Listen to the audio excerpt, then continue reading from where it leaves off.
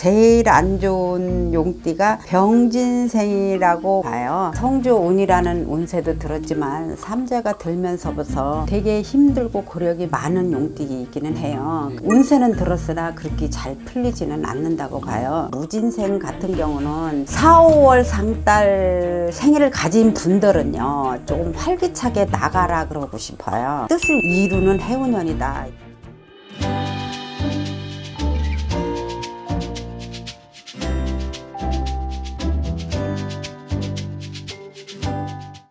안녕하세요. 네, 어, 사실 이번 시간 주제가 2022년 하반기 용띠 운세거든요. 네.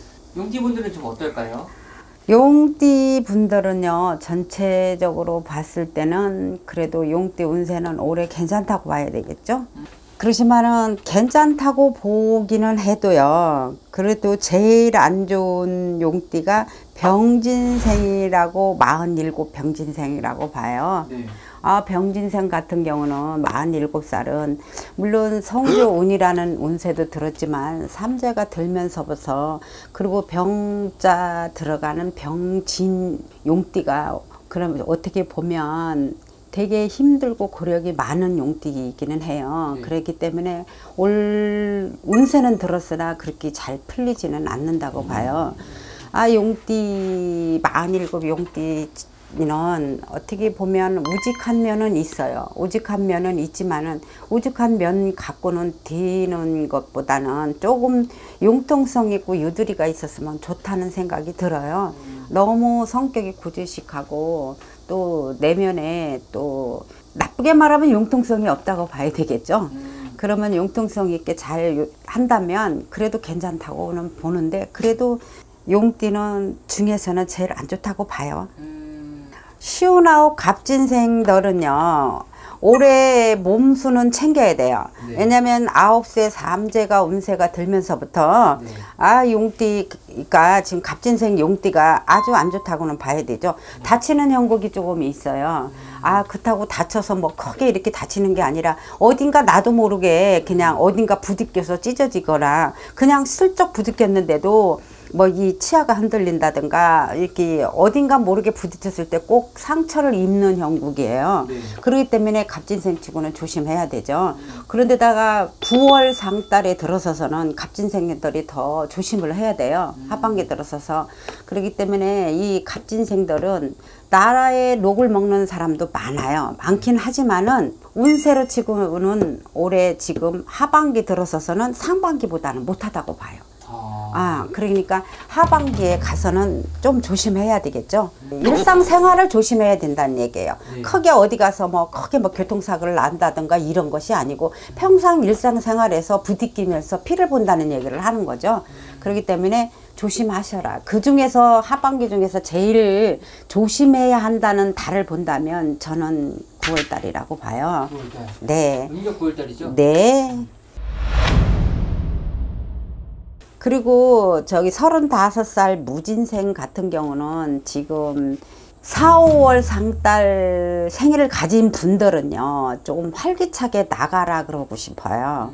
그럼 그분 같은 경우는 지금 이민년에 들어서서 그냥 내가 하고자 하는 일을 팍 차고 나간다면 뜻을 이루기 이루는 해운년이다 이렇게 생각이 들어요. 그렇기 때문에 조금 차고 나갔으면 좋겠어요. 움츠리지 말고 4, 5월 생일들을 어, 4월 생. 음력으로 4, 5월 생일들은요.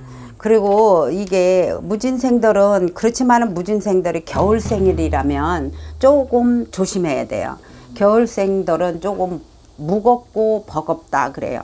이민년에 들어서서 근데 이 생일달 마다 이게 달마다 모든 사람들이 틀리듯이 보편적으로 겨울 생일들은 좀 용띠들이 좀 힘들다고 봐요. 왜냐면 얼음을 깨고 승천하는 형국이라서 힘들고요. 좀 만약에 이게 4, 5월 상달이면은 얼음을 깨지 않아도 승천할 수 있는 내가 올라갈 수 있는 힘이 있다는 얘기를 하는 거죠. 그렇기 때문에 그달 생일 가진 분들은 내가 뭔가를 차고 나갔을 때 성공할 수 있다는 얘기를 하는 거죠.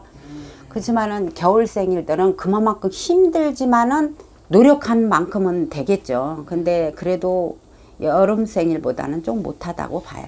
그리고 경진생 23살을 경진생들을 보면은요. 이게 쉽게 말하면 이 경진생들은 어려서부터 빌어서 가라는 음, 형국이 많아요. 이 경진생 경진생들은요. 그렇기 때문에 이 칠성에 빌어서 갔을 때 이 경진생들은 잘 나가고 안 나가고가 있어요.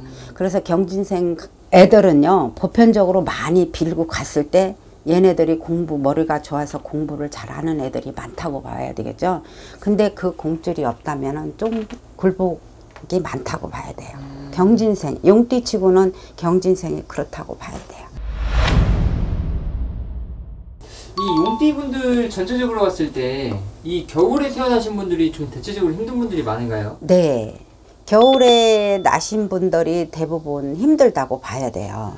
그리고 봄에도 그렇고 4, 5월 생 달에 나신 분들이 어찌됐든 용띠들이 신제자들이 좀 많아요. 네. 어, 그리고 겨울에 나신 분들은 좀 그런 분들이 많지 않고요.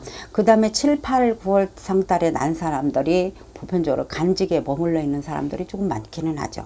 이 그렇다면은 이 2022년 하반기에 운기가 가장 좋은 용띠 분들 중 한 나이만 선택하자면 어떤 분들이? 전 무진생이라고 봐요. 음, 무진생은 어찌됐든 내가 할 수 있다고 밀어붙이면 네. 뭔가가 이룰 수 있는 그런 형국이 되니까 저는 좋다고 봐요. 그 대신에 제일 나쁜 운세를 본다면 어찌됐든 몸이 안 줄 수 있고 뭔가 이렇게 움직이면서 다칠 수 있는 형국이니까 갑진생이 제일 안 좋다고 봐야지. 삼재 아홉수. 삼재 아홉수도 있, 있기는 하지만 그래도 제일 안 좋다고 봐요.